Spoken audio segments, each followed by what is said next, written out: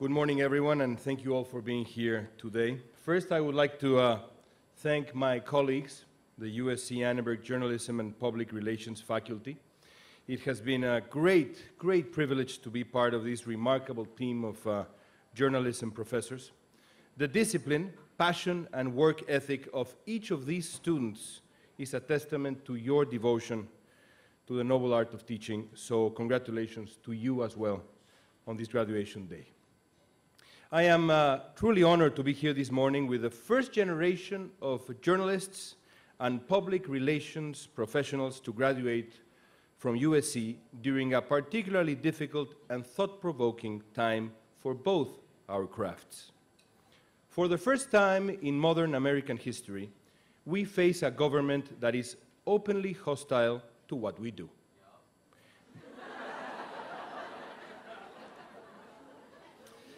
This should not be taken lightly.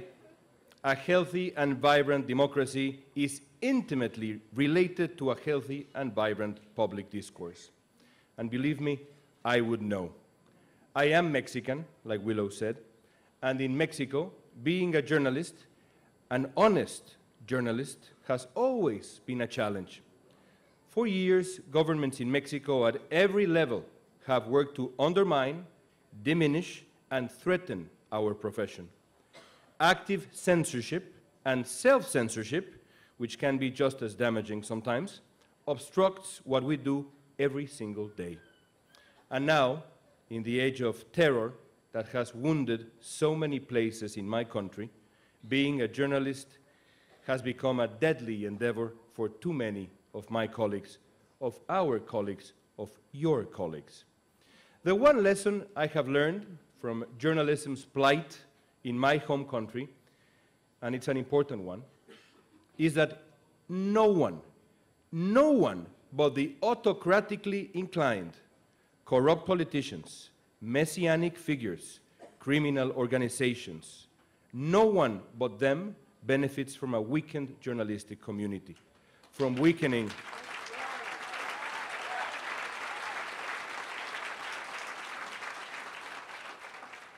from weakening our capacity to tell a trustworthy, captivating, and truthful story. Keep that in mind. Now, in the United States, we are facing some of those same threats. So make no mistake, everyone, you are graduating in a tough, rough, aggressively secretive, morally demanding time. And to this I say, congratulations.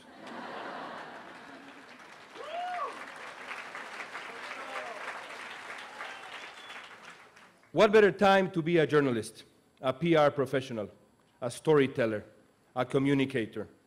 What better time to be out there seeking the truth, asking uncomfortable questions, holding the powerful accountable, sniffing for that unmistakable stench of corruption and impunity? No better time. You have chosen wisely, and I'm proud of you. The question you now face is what to do next? I imagine many of you are already looking forward to facing our favorite prey, my favorite prey, politicians. They're wonderful. I don't blame you, I don't blame you. There are few things more entertaining and fulfilling and important than successfully confronting a powerful political figure. I know what that feels like. Three years ago, I uh, asked during an interview, I asked Enrique Peña Nieto, the president of Mexico, about the possibility of the famous El Chapo Guzman, whom Peña Nieto had just captured, escaping from prison once again. The president of Mexico told me it would be impossible for that to happen. he looked me in the eye and he said, it would be truly unforgivable. That were his exact words truly unforgivable. Nice, meaty words to hear from the mouth of a president. So you can imagine my journalistic glee when just a few months later, El Chapo climbed down from his cell into a tunnel and fled. Peña Nieto's words in that interview with me haunted him for a while, for a long time, even after he managed to catch Guzman again. So it was fulfilling.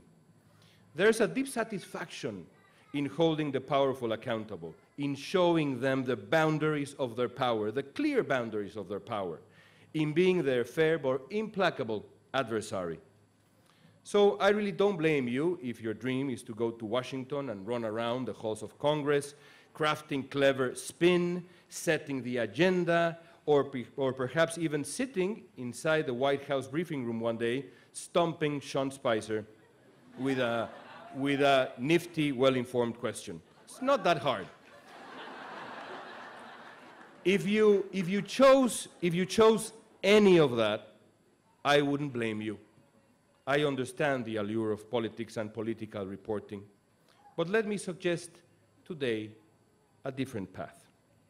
If what you want is to take a stand against nativism, against racism, against prejudice, against half-truths, against the assault on minorities, against dark money in politics, against misogyny, against corruption, against poverty and inequality, against that insulting, infuriating label that calls what we do fake, focus not on the powerful, but on the powerless.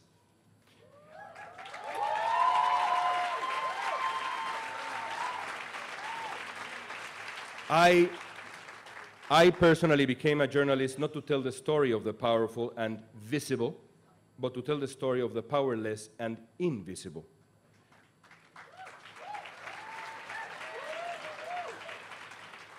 I believe, for example, and my students, some of you are here, I believe, for example, in the significance of telling the story of an immigrant, a deeply religious father of eight daughters who decided to emigrate to a country he deeply and genuinely admired and which he thought would provide a safe, respectful place to bring up eight young women. An immigrant who still works to this day with his hands as a contractor, as a builder, a man who built his own house and has managed to raise poised, elegant, and incredibly productive American women like you, even if five of them are undocumented. His story is more important than that of any politician. His name is Luis Canales. I believe in the significance of the story of an undocumented immigrant, a cheerleading, dancing high school junior who dreams of going to college for a degree in women's studies and defines herself as a fierce feminist who just might also want to be like Beyonce and can't imagine herself going back to Mexico. A girl who embodies everything that's good and admirable about American womanhood and yet still must live with the fact that she might not be able to legally work in this country or go to the college of her choosing in this country, a country she rightfully considers her own. Her name is Dalia Carmona. Her story is more important than that of any politician. I believe in the significance of the story of an immigrant, a giant of a man who has worked 18 hours a day for the last 30 years of his life just to achieve his dream of owning a business, a wonderful, delicious bakery in Los Angeles, in which he mostly employs undocumented immigrants because he says everyone deserves a better life in the United States. A man who, through his hard work, through his quintessentially, and this is crucial, guys, through his quintessentially American hard work, sent his kids to college and bought the house he grew up in back in Mexico for his ailing mother. His name is Agustin Aleman. And yes, his story is more important than that of any politician. The only way to really counter prejudice is to uncover its consequences, its social, emotional, and cultural consequences. And you can only do that with the power, the immense power of storytelling. And believe me, people want to tell their stories. Don't let anyone convince you otherwise. Five years ago, working for Univision, I bought a small plastic round table at Home Depot, along with a couple of plastic chairs and a foldable cart to carry them around. I began to set up the table on corners chosen completely at random all around Los Angeles, with two cameras a safe distance away. Then I sat and asked people to join me. I wanted only one thing to ask them about their lives. Nothing more, but nothing less. No notes, no pre production, no makeup for TV, no suit, no tie, no fancy handkerchief, no news anchory histrionics, nothing. Only essential community storytelling. I didn't know what would happen. I thought maybe people would just stand up after the first few questions. Maybe, I thought, some might even feel insulted by my prodding. The exact opposite happened. People opened like books suddenly dropped on the floor. They spoke of their parents and grandparents and the sights and sounds of their childhoods. They reminisced about the last time they saw the small towns they were born in, never to return. They told me about their plight across the border, carrying their children in their arms, children who would grow up here as American, as American as any child born a citizen.